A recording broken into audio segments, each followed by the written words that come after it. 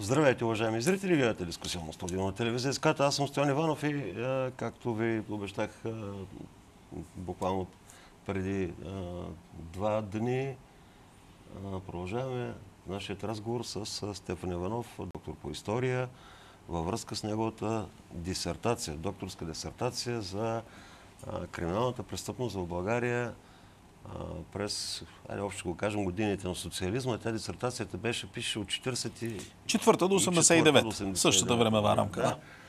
да. Нещо, което е подготвено като книга, която в началото на 24-та година ще излезе от печат.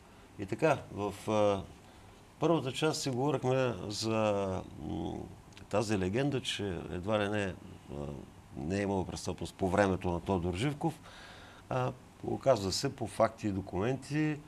И тук отново ще повторя, че а, това, което моят гост съобщава, което е написал дисертацията си, не си го е измукал от пръстите, взел го е от архиви, от официални документи. От МВР, от следствието, от а, документи на, на, на партията, на БКП има отчети и така. Военен отдел има, Воен... който надзирава дейността на МВР. Точно така, военен отдел. А, спомени на а, директни участници в... Министри, замминистри, да. Така. Да, да. Тоест всичко това е документално, а не някой просто гледал тавана и казал така ми хрумна и така го написах. Но а, тогава говорихме а, за това, че като убийство дори на човек от населението са два-три пъти повече, отколкото сега. М- макар, че да, може, а, има известно различие, не е имало такива и толкова организирани престъпни групи, които да работят по поръчка. Нали така? Да, така е което назначава, че убийствата са били по-малко или по-жестоки. сега обаче ми се ще да поговорим по една тема, за която миналия път не ни остава време. Добре де.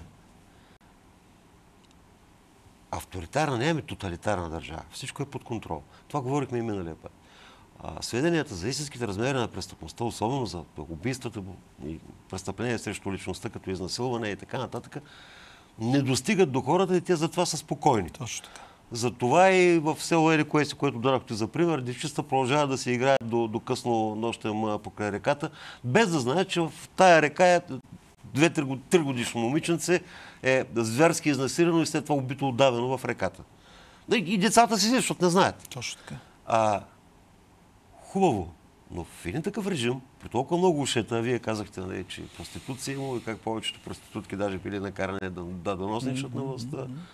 И при толкова много ушета доносници, как е успявала МВР да се пребори с престъпността и успявала ли всъщност? Какво е характерното? Както се казва, с променлив успех. Аз променлив успех. А, ами първо, първо, за различните периоди на социалистическа България, дейността на Министерство на вътрешните работи е доста различна. Първите 10 на 12 години след преврата от 9 септември 1944 имаме тотална липса на компетентност в рамките на Министерство на вътрешните работи, породена от това, че всички стари криминалисти от царската милиция са или поизбити, или поуволнени. А на тяхно място идват а, а, хора по партийна линия, без никакво образование, да не говорим с някакъв криминологически опит, благодарение на което всъщност самото Министерство на вътрешните работи е лишено от всякакъв потенциал кадрови да работи успешно по тези случаи. Затова тук имаме две засичане във времето на две негативни тенденции по едно и също време. Едната негативна тенденция е големия брой на тежки престъпления, което има в този период и по същото време бих казал организационната немощ на Министерство на вътрешните работи да работи по тях. Малко по-късно, от 60-те години началото, те решават, че всъщност виждат този проблем. Между другото, това е проблем констатиран от самите тях. Това не е мой разказ. Има го описано подробно. И правят курсове на всички милиционери, които са назначени без да имат образование в школата Георги Димитров. Това е сегашната академия на МВР. А след което започват вече постепенно да приемат и да обучават там хора, които, особено за офицерския състав, и това вече към 70-те години дава положителен резултат. 70-те години вече имаме относително доста по-голям професионализъм в МВР. Това веднага реагира в а, огромен брой разкриваемост, увеличаване на разкриваемостта, а, в една по-добра превенция, т.е. борба, за да не се случва част от тия престъпления. И всичко, разбира се, отива в реката, както се казва, 83-4 година, когато държавата се опътва към а, своя морален, политически, стопански и всякакъв опадък. И имаме най-големия взрив на престъпността след 84-5 година, когато всъщност имаме и най-малките, най-низките нива на разкриваемост. Само едно изречение искам да кажа. Различните видове престъпления, които аз съм разследвал, а именно умишлени убийства, изнасилвания, грабежи и кражби на обществено и на лично имущество, имат различна разкриваемост. Традиционно за убийствата тя е между 93 и 100%.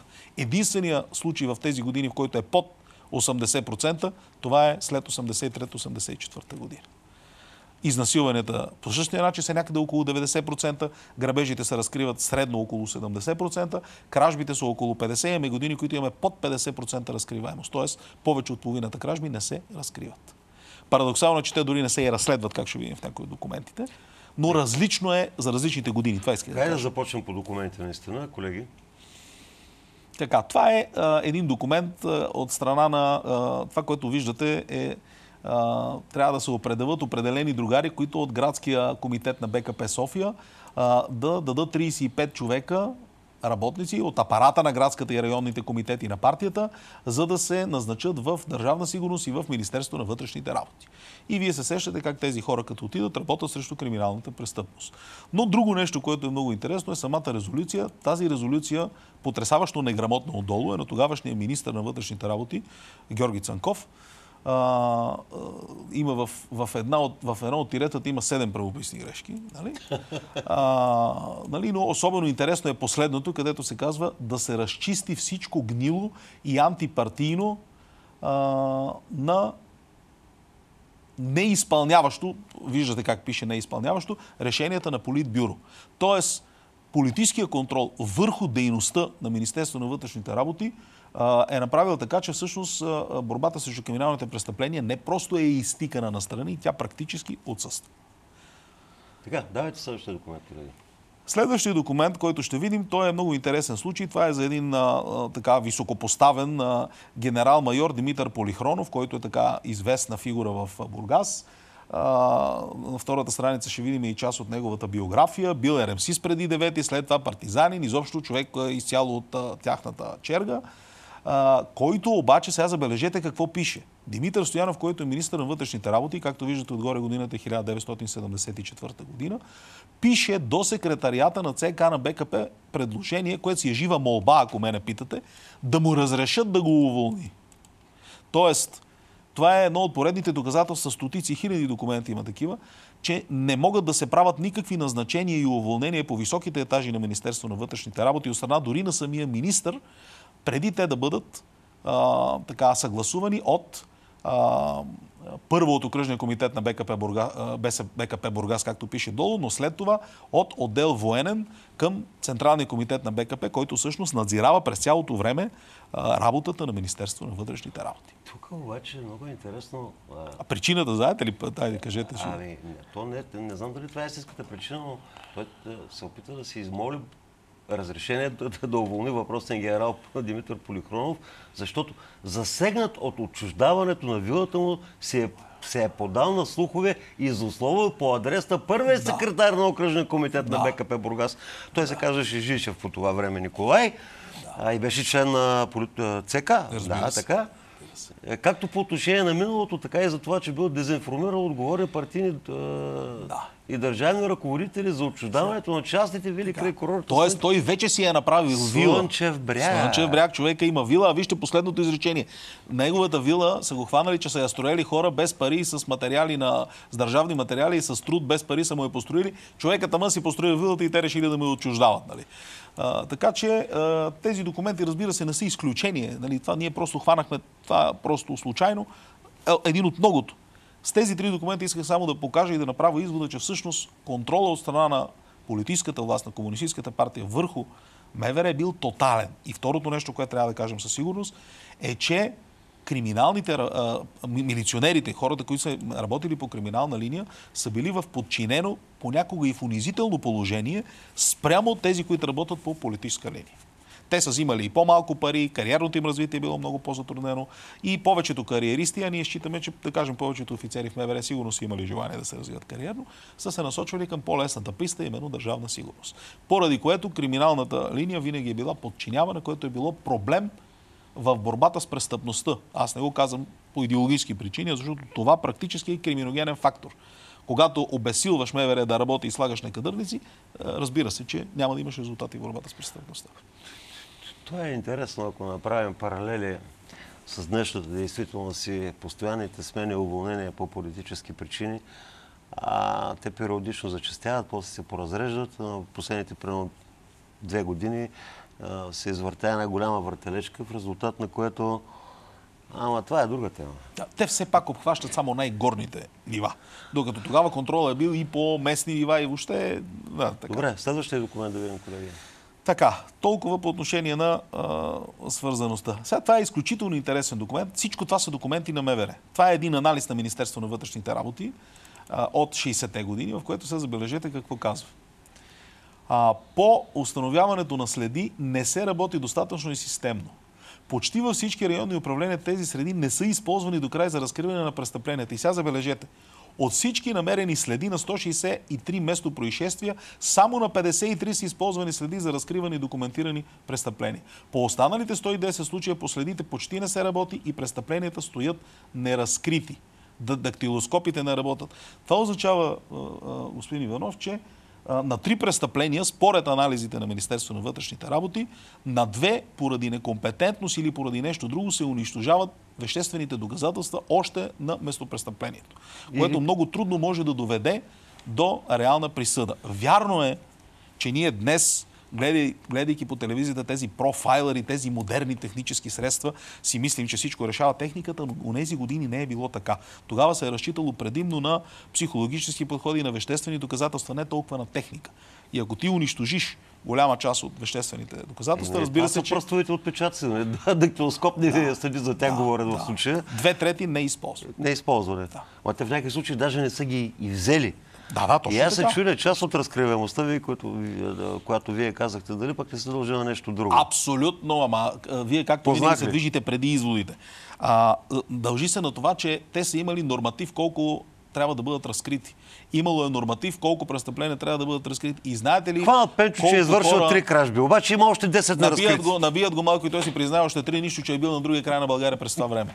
Обаче престъпността е отчетена. И за съжаление това има пак двустранно негативен ефект че от една страна един човек, който не е виновен, лежи, но от друга страна той, който е виновен, не лежи и извършва още престъпление.